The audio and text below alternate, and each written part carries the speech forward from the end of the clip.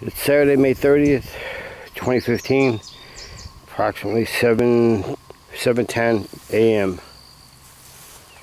Okay, that come out of the garden about uh, 18 feet. Another one on the other side, see there's bees going down there pollinating the flowers too, finally. Must have been in those flowers already. Tomatillos are looking better after I sprayed them. So you see all this new growth here. I charge you, these here are dying off, but they're, they're, they're not damaging the plant because if you got new growth like this here, you get fresh leaves growing out. Uh, then you get another string, uh, three strings at least for those beans right there to grow toward the uh, fencing. The line of strings I got back between the two hummingbird feeders. This was something I didn't really think about. I mean, we can step over it, but I mean, I hope it doesn't go too far into this garden three here with the uh, okra. The painted pony beans, this is all garden one right here. The painted pony beans are doing fairly good. All three of them. The first two I put out about almost four days before I did the third one. That's the first, the second, this is the third one I put down. I put some 15-15 fertilizer down by them couple days ago. So we got this chard here, that tomato right there. Better than the crap that you buy in the store, I guess. I Say. And then we got flowers coming up here. But anyway, this one will be for the tomatoes and peppers. So, then we go back over here to garden three. Let's start all the way at the end. I have spinach I put down here. New Zealand spinach, but I don't think any of that is right there growing. Uh, this is a uh, purple hull pea. That's the first purple hull pea right there. And we got three here. Well, three spitations. There's like two and three growing in each one too. Because I just dropped seeds instead of putting one down like I generally used to always do. I went ahead and did two or three and let them fall. So you can see there's more than just one plant growing in here.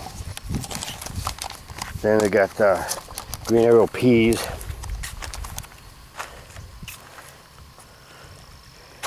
These are, seem to be very sensitive. They're not growing that much. Well, that one's not growing. This one is, and this one is, and the first one. And it's drizzling, light drizzle, so I'm getting ready to get out of the rain.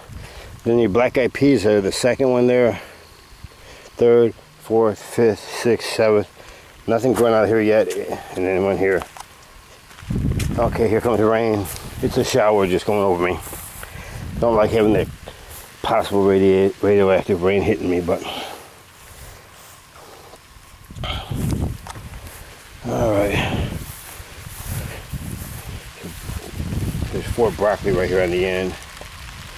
All right, that's like three feet tall, three and a half feet tall. I go through here. The bees have been pollinating these flowers too, so look at this bush.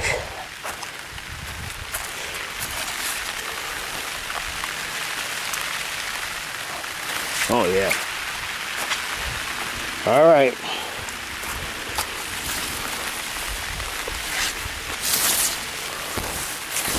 Yeah, there's some nice ones in here. Uh, honeydew, honeydew, watermelon, to be an emperor bean in there, not growing yet. Watermelon, nothing there, watermelon. Getting rain on this screen here. Cucumber I sprayed because as we see how the leaves were looking. I sprayed it uh, baking soda and water and after that it seems to be doing a lot better. I'm not saying that that's what cured it or anything, but again, the leaves all look like this right here. Let's see if I can do it. I can't. All right, like that right there.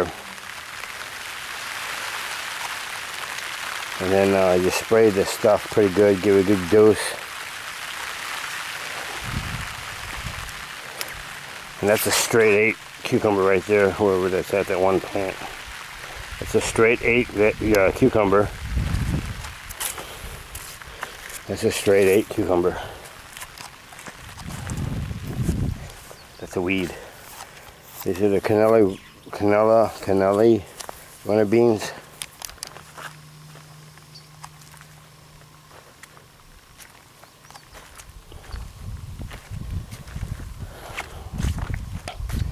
I'm going to go ahead. I'm still going to do it, even though I, you know, some people wouldn't do it.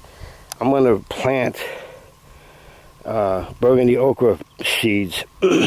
burgundy okra, the middle eight stations here. I got four rows of okra. The two in the center here are burgundy okra. They get the burgundy pod, you know, the reddish, about the color that uh, stem there. And then we get green pod. Like I said, it should be eight in each row, but you see one, two, three, four. Only four growing in the first row of okra over here. Actually, that would be the fourth row, but first row of okra right here, we got one, two, three, four. There's two in that one, five, six. That's it. We got one, two, three spots that are open. Which I'm to put burgundy okra seeds down. I don't think I have any more green pot okra. Unless I do, it's uh, mixed somewhere. So that'd be four, five, six, seven, eight, and one over there, nine, in the burgundy okra aisle there, nine. Nine more burgundy okra plants will be plant, uh, seeds will be planted, which hopefully I have nine, at least six of those will come up, and we'll have more than enough okra, which is fine. But uh, the peanut plants, Peanuts grow in the ground, but above the ground you still get a plant with a flower on it. Put four, four peanut seeds down in that hole. Uh, now all these were done at the same day. Four there, four there. About uh, four inches above the ground. Almost four inches. But see, here's the thing. I planted them there, and it looks like ants though. I planted them right down here too. So, I don't know what I can do with this. I put some fertilizer on here just a couple days ago.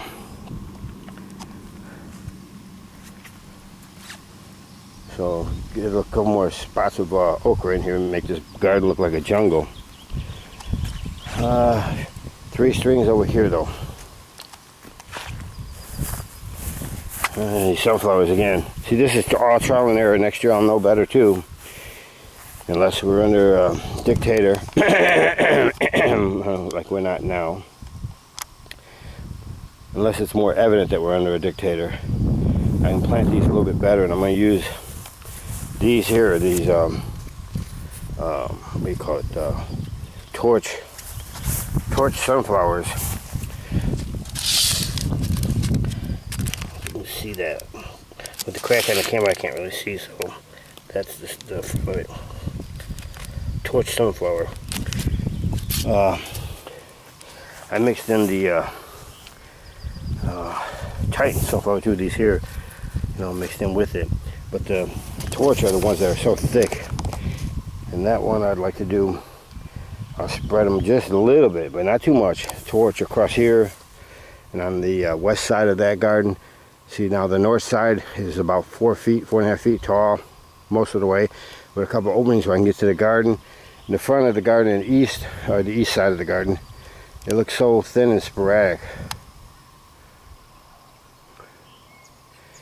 So this, the only one that won't have anything would be um, the south side, which we have uh, marigolds planted, but look at the grass cover, we're taking it too.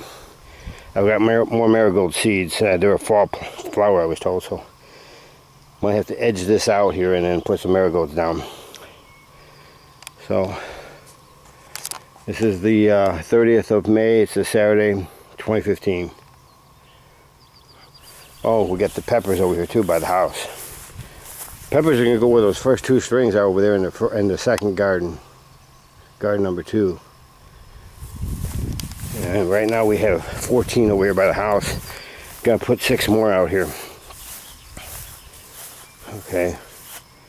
Two, four, six, eight, 10, 12, 14.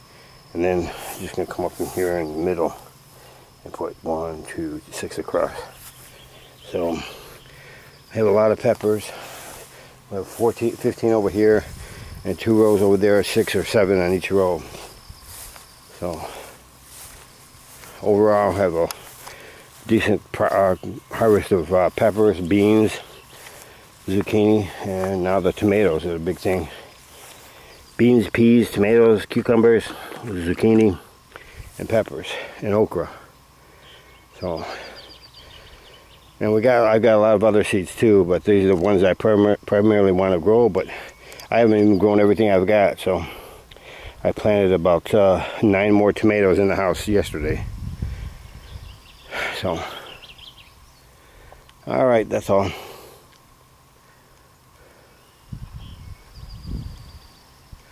Nam-myoho-renge-kyo, Namyo Horengekyo, Nam-myoho-renge-kyo.